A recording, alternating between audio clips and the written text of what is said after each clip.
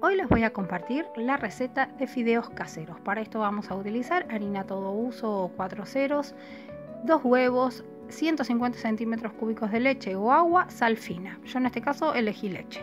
Vamos a poner la harina en, en bols, vamos a salar, vamos a incorporar los dos huevos y vamos a empezar a mezclar con un corner, con una espátula, con una cuchara, un tenedor, lo que tengan ustedes a mano.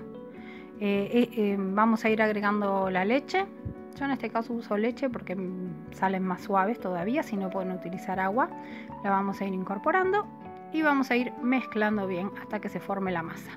Si nosotros vemos que con esta cantidad de harina y de leche todavía cuesta integrar, le podemos agregar un poquito más de leche como voy a hacer yo en este caso.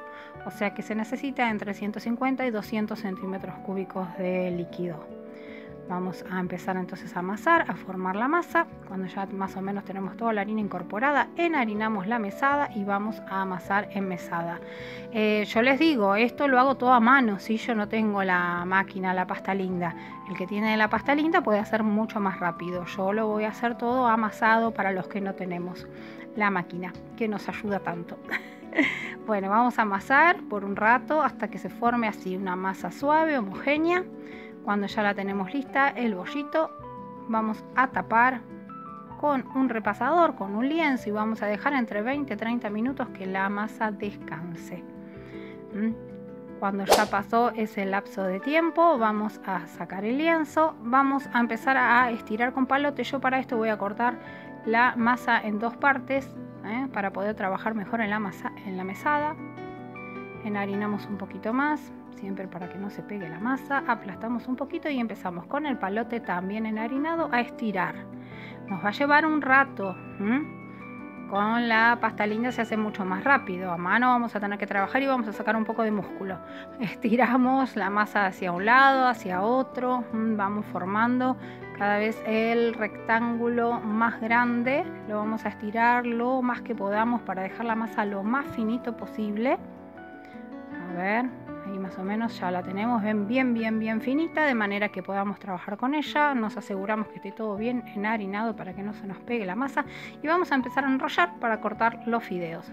Vamos a empezar a enrollar, la harina la desparramamos para que no se pegue. Luego cuando tengamos que desarmar las tiritas de fideos y con un cuchillo bien filoso empezamos a cortar cada fideo finito. A mí me gusta finito, ¿sí? Tipo tallarín. Del ancho que quieren lo pueden hacer también tipo cinta más ancha.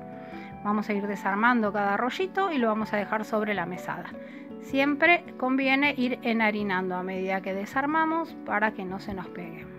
Miren cómo lo desarmamos y queda ya la tirita del fideo lista. Así hacemos con toda la primera parte de masa que estiré. Cuando ya los tenemos todos desarmados, si tenemos lugar lo dejamos en la mesada y si no lo vamos a poner en una eh, en una bandeja enharinada para poder estirar después la otra parte. Ponemos acá todos los fideos entonces a que descansen un poquito con harina y vamos a proceder a estirar la otra parte. Cuando ya los tenemos todos listos así, los podemos dejar descansar un ratito arriba de la mesada. Yo acá preparé salsa fileto, que tenemos la receta en nuestro canal, así que la pueden ver. Ya está lista. Ahora voy a poner Acá tengo el agua también en la cacerola calentándose. Cuando hierve le ponemos sal gruesa, un chorrito de aceite y ahí empezamos a echar nuestros fideos que estuvieran descansando un ratito. Ya tenemos lista el agua. Procedemos entonces a poner toda nuestra pasta. Nos va a llevar un rato de cocción, entre 7 y 10 minutos, según el ancho que le dimos a los fideos y según el grosor de la masa y si nos gustan al dente tardan menos, si nos gustan más cociditos los dejamos dos minutitos más. Cuando ya lo tenemos listo lo mezclamos con la salsa, miren lo que quedaron, recuerden que la salsa fileto la tienen el link en la descripción. Pueden disfrutarlo, pueden hacerlo, cualquiera puede hacer pasta en su casa, no hace falta ser expertos. Nos vemos en la próxima, denle like, riquísimo.